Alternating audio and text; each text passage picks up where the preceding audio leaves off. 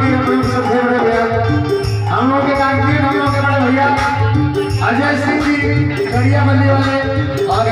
ब्रह्मा जी से हमारे पिता जलम सिंह चाचा जी